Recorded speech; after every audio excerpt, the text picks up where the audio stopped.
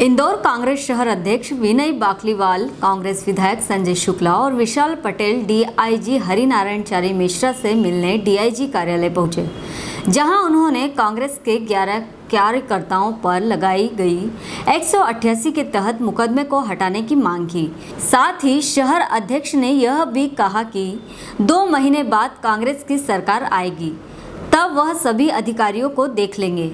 दरअसल शहर अध्यक्ष के साथ दो विधायक सराफा थाने पर 188 के मुकदमे के तहत जमानत के लिए पहुँचे थे, जहाँ उनके साथ कांग्रेस के 11 कार्यकर्ता ही पहुँचे थे, जिस पर पुलिस ने सभी 11 कार्यकर्ताओं पर 188 के तहत मुकदमा दर्ज कर लिया। कांग्रेस का आरोप है कि बीजेपी के दबाव में साथ में गए कार्यकर्ताओं के खिलाफ मुकदमा दर्ज किया गया है, जबकि हज़ारों की संख्या में भीड़ एकत्रित करने वाले पूर्व विधायक सुदर्शन गुप्ता के खिलाफ मामूली धाराओं के तहत केस दर्ज कर लिया गया है। और वहीं विधायक और नगर अध्यक्ष राजवाड़ा पर माँ अहिल्या की मूर्ति के नीचे सोशल डिस्टेंसिंग का पालन करते हुए मौन धरना दे रहे थे, जिसमें चार लोगों से ज़्यादा भी नहीं थे। बावजूद उसके, उनके खिलाफ प्रकरण दर्ज कर लिया गया है, जो कि केंद्र, जो कि प्रदेश सरकार के दबाव में था। और साथ ही उनसे बात करने पर आए अधिकारियों के खिलाफ भी ताबड़तोड़ तबादले किए गए। शहर अध्यक्ष ने चेताया कि दो महीने बाद कांग्रेस सरकार बन रही, उसके बाद वे भी सभी अधिकारियों को देख लेंगे। फ़िलहाल डीआईजी ने भी जनप्रतिनिधियों से चर्चा कर उनसे आश्वासन दिया है कि जाँच के बाद उक्त कार्यवाही की जाएगी। इंदौर ब्यूरो राकेश सच्चा के साथ मंथन सेन की रिपोर्ट।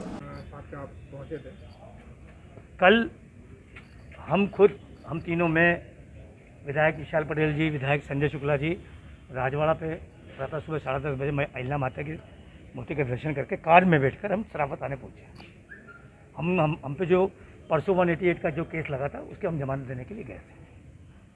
हम वहाँ अंदर चले गए बैरिकेड लगे हुए थे, हम तीनों ने वहाँ पे जमानत दी। पीछे हमारे कुछ आठ दस लोग साथी थे। भारतीय जनता पार्टी के प्रेशर में, दबाव में, सरकार के दबाव में आने के कारण उन पर मुकदमा दर्ज कर दिया गया था। लगभग हमारे कांग्रेस के नौ साथियों पर जिन्होंने ग्यारह साथियों पर मुकदमा दर्ज किया। उसके लिए हम अभी जय साहब से चर्चा करने आया थे तो हमने मांग करिए कृपया झूठा प्रकरण जो आपने कल लगाया, हमारे कार्यकर्ताओं पर से तत्काल रूप से उसको हटाया जाए, खात्मा किया जाए, और उन्होंने हमें आश्वस्त किया है कि ये कार्रवाई आगे नहीं होगी यही समाप्त प्रकरण को हम खात्मा करने का उन्होंने जाँच के आदेश उस पर दिए थे देखा जा रहा है, कई क्योंकि सोशल डिस्टेंस, कोरोना कोई पार्टी या कोई ऐसा मत नहीं है कि ना कांग्रेस ना बीजेपी है लेकिन आज इन सोशल डिस्टेंस दोनों पार्टियों की तरफ़ से लगातार। भाई, हमने तो कोई सोशल डिस्टेंसिंग की धज्जियाँ नहीं उड़ाई। सबसे पहले हमारा कलेक्टर के सामने प्रदर्शन था। हमने ईमानदारी से उनसे एक दिन पहले हमने परमिशन मांगी जिला प्रशासन से कि हमें अनुमति दी जाए। पंद्रह लोगों की तो हमने पच्चीस लोगों की मांगी, आप पंद्रह की देते। हमें अनुमति नहीं दी जाती है। बाकी पूरे मध्य प्रदेश माननीय मुख्यमंत्री कमलनाथ जी, पूर्व मुख्यमंत्री कमलनाथ जी का आदेश था, निर्देश था मध्य प्रदेश कांग्रेस कमेटी का, कि सभी ज़िले सभी शहरों में ये प्रदर्शन किया जाए। बाकी बावन जिलों में सब जगह परमिशन मिलती है, सब जगह कलेक्टर परमिशन देता है तो इंदौर में क्यों नहीं दी गई? हमें कोई परमिशन देते हैं, हम हमारे पंद्रह लोग जाते हैं, ज्ञापन देते हैं हमारे घर जाते कल का, कल परसों जो हमारा था अहिल्या प्रतिमा पर हम चारों लोग बैठे थे, मेरे विधायक साथी जी, हमारे विधायक संजय शुक्ला जी, विशाल पटेल जी, मैं और जीतू पटवारी विधायक जी, हम चारों बैठे थे, और आप स्वयं खुद हम पर स्पॉट पर मौजूद थे। चारों ने हमने सोशल डिस्टेंसिंग का पालन किया था, फिर भी हम पे मुकदमा लगा दिया। हमने कोई धरना नहीं दिया, हम तो मौन बैठे हुए थे। प्रशासन हमसे खुद बात करना है। हमने तो नहीं बुलाया था प्रशासन को। आप प्रत्यक्ष इसके गवाह आप सब खड़े सब थे उस दिन। मुकदमा लगा दिया जाता है। कल फिर हमारे कार्यकर्ताओं को मुकदमा लगा दिया जाता है। ये क्या? और भारतीय जनता पार्टी के वो सुदर्शन गुप्ता, ढाई हज़ार, तीन हज़ार लोगों को इकट्ठा कर लेता है। उसमें कोई चौबीस घंटे तक कोई मुकदमा नहीं लगता है। जब कांग्रेस बोलती है, विपक्ष बोलता है तो मुकदमा लायक लग जाता है। और उसमें भी धारा नहीं बढ़ाई जाती है। Two sixty nine, two seventy two seventy one धारा बढ़ानी चाहिए कल से कोई करोना उसमें से निकलेगा कोई पॉजिटिव निकलेगा उसका जवाबदार कौन?